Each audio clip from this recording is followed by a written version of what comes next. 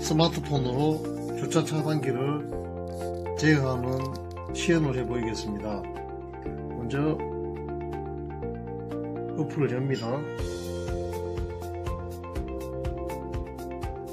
위와 같이 주차 차단기가 설치되어 있는 곳에 CCTV가 설치되어서 CCTV를 실시간으로 보면서 주차 차단기를 열어보도록 하겠습니다.